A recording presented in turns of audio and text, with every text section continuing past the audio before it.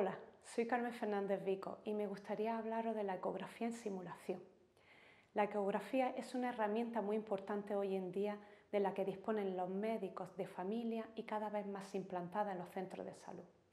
Como herramienta, la ecografía, aparte de útil en la exploración del paciente, hace que disminuya la duda notablemente en el diagnóstico.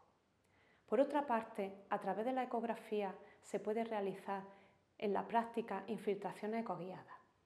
En nuestros cursos, el alumno puede adquirir y repasar los conocimientos, adquirir habilidades y técnicas practicando tanto con robots y simuladores como con modelos vivos o modelos cadáver.